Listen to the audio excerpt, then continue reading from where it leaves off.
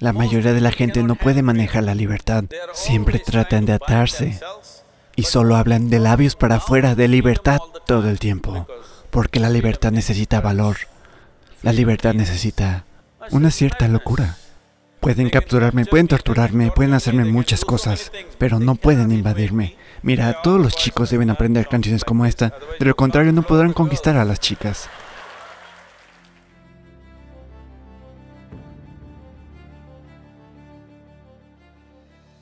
A pesar de estar rodeados de mucha gente, todavía nos falta ese sentimiento de pertenecer a alguien y de ser aceptados por alguien, de ser amados por alguien. ¿Cómo deberíamos afrontar ese descontento y esa soledad? En un nivel, muchas preguntas están dirigidas a ¿cómo puedo liberarme de esto y aquello? En otro nivel preguntas ¿cómo puedo atarme a algo o a alguien? Debes decidir. ¿Cuál es el valor más alto en tu vida? ¿La libertad o la esclavitud? Por favor, me gustaría escuchar esa palabra. La libertad. Oh, la libertad. Pero, si eres libre, te sientes perdido. Si vas a las montañas y eres totalmente libre, es decir, sin nadie alrededor, ni nada alrededor, estás solo en el espacio vacío de las montañas. No te sientes libre, crees que estás perdido.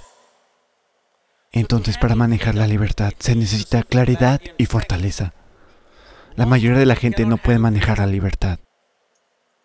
Siempre tratan de atarse y solo hablan de labios para afuera de libertad todo el tiempo. Si de verdad los liberas, sufrirán inmensamente.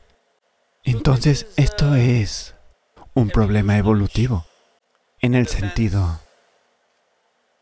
de que los seres humanos ahora mismo son así.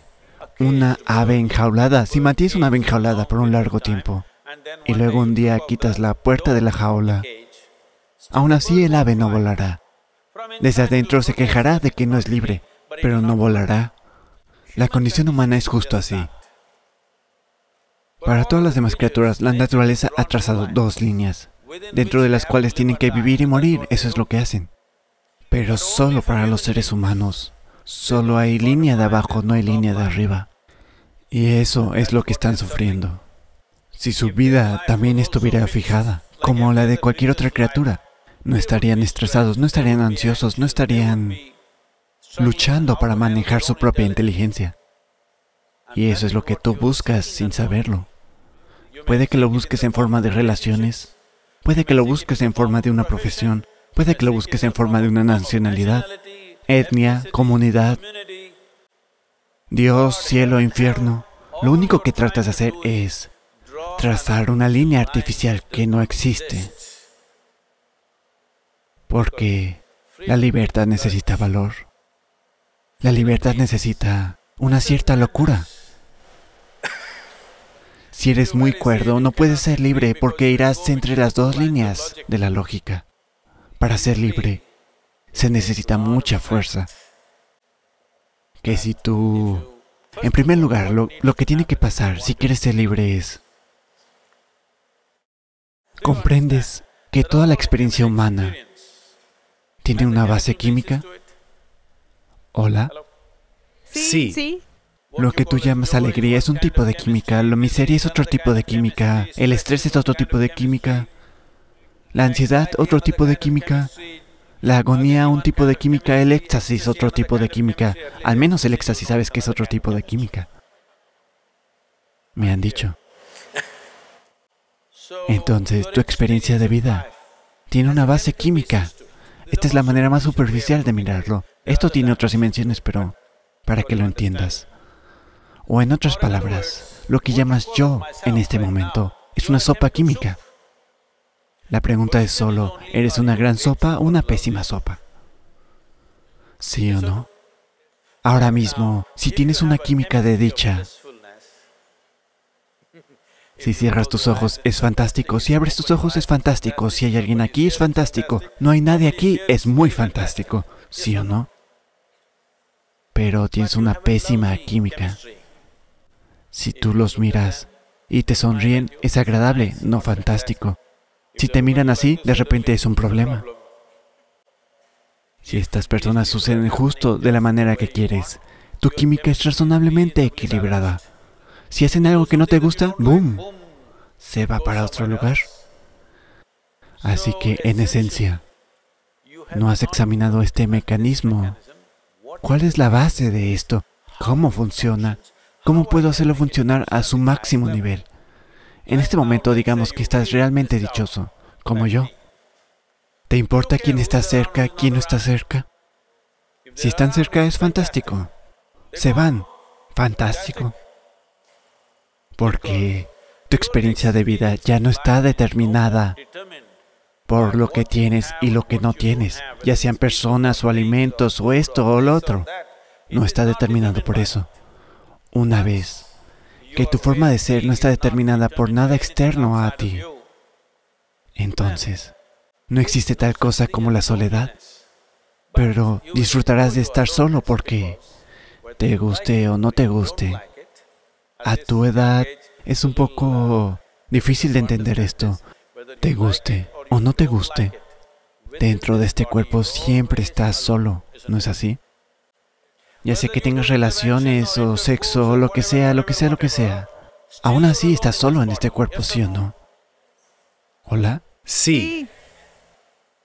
Si no aprendes a manejar el estar solo, no habrás aprendido nada sobre la vida.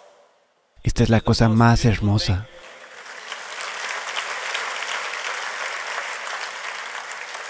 La cosa más hermosa de la vida es que nadie puede entrar aquí, es solo mi espacio. ¿Sí o no? ¿No es esta la cosa más bella? Nadie me puede invadir. Me pueden capturar, me pueden torturar, me pueden hacer muchas cosas, pero no pueden invadirme, porque tengo un espacio que es solo mío. ¿No es este el aspecto más maravilloso de tu vida? No lo sufras. Es la cosa más hermosa. Oh, pero quieres suspirar un poco románticamente y disfrutar este... ¿Cómo es? ¿Cuáles son esas canciones, canciones populares? Anhelo a alguien.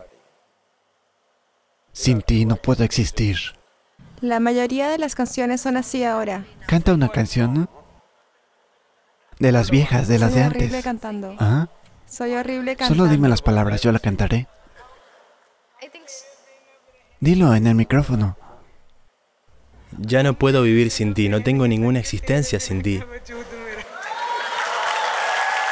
¿Me la estás dedicando a mí? Está bien, está bien, entiendo. Él canta, él canta. Sriram canta. Shram, esa canción, la que cantó. हम तेरे बिन अब रह नहीं सकते तेरे बिना क्या वजूद मेरा Mira, todos los chicos deben aprender canciones como esta, de lo contrario no podrás conquistar a las chicas. Pero las chicas deben entender que el chico tiene una necesidad y por eso hace esto. No es realmente cierto, pero disfrutemos del juego por ahora. Porque lo que hacemos es solo un cierto... Es un cierto juego, la vida lo es, porque tiene fin.